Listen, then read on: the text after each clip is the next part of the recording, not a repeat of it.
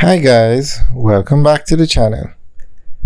Now today we're going to talk about the toll rates on the May Pen to Mandeville leg of the highway. Or we're going to talk about the toll rates on the east-west leg of Highway 2000, which is the PJ Patterson Highway. Now, we had put up a video asking why they had two toll plazas at toll gates. And a lot of persons said it's because they're going to be charging two different toll rates. But as far as we know, it's the same rate once you on this highway.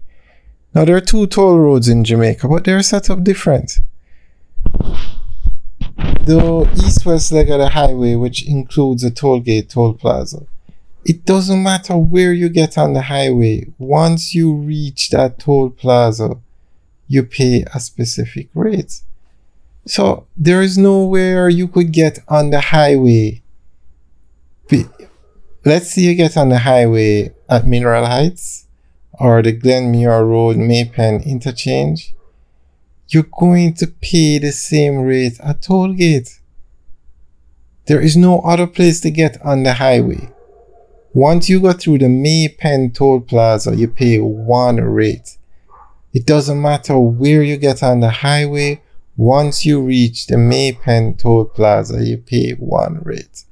So if you get on the highway in Old Harbor, or you come through vineyards, you're going to pay the same rate. That's how this highway is set up.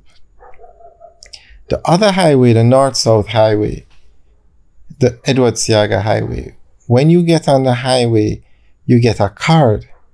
And when you exit the highway, you give them the card and they calculate how much the toll is based on where you get on the highway and where you exit. That highway is different. That is the highway, that is a north south highway. They have the concession to collect toll on that highway. That's actually the, China, the Chinese company that collects the toll for that one. The east-west leg now, which is the one where the toll gate toll plaza is, is operated by Trans Jamaica Highway. And I can confirm that the sign on the highways by the toll plaza says Trans Jamaica Highway, but we'll talk about that in another video.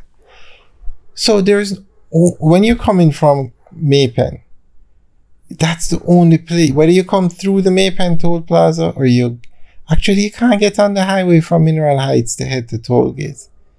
There is no entrance. You have to get on the highway to go to Mineral to go to toll gate in May Pen. No, at the May Pen interchange, I should say, and that takes you down to toll gate, and that's where you pay the toll. It doesn't matter where you exit, you're paying the toll right there. Now, I think what people are thinking is if you get on the highway at toll gate and head towards Melrose Hill, you pay a different rate. But no, it's the same rate. It doesn't matter where you go or where you're coming from once you reach that toll plaza, you are paying the same rate. Now, the difference that you might pay is based on the vehicle. Now, the car in front of us is a class 2, so they pay a higher rate. The car to the right is a class 1, they pay a lower rate. And a tractor or a trailer would pay class 3, which is the highest rate. So that is the difference in rate based on the size vehicle you are driving in. It doesn't matter where you get on the highway or where you exit. The toll authority, whoever sets the toll rate, is trying to keep the toll at the toll gate toll plaza, the both of them now the same rate, at below $500. They're trying to encourage people to use the highway. And the, the, the rates went up recently on the highway. The rates go up, I think it's June 1st or July 1st every year. That's when they get the rate increase. As to when they decide to collect it, it's up to them. but um, it's in the contract. That's that's when the rate goes up. But the east-west leg of the highway, they don't use a card. You just go to the toll plaza, and that is the rate you use. It doesn't matter where you get on or where you get off. Once you reach a toll plaza, you are going to pay the toll. No, if you get on a highway in toll gates, you're still going to pay the same toll because you're going to use the same highway from toll gate to May-Pen, from the toll gate toll plaza to the May-Pen toll plaza. And you're going to use the same length of highway if you go from the toll gate toll plaza towards Melrose Hill. So it doesn't matter. It's the same rate you're going to use once you reach that toll plaza. Not sure why people think that there are going to be two different rates. I've never heard that. They've always said um, it's one standard rate for the toll plaza.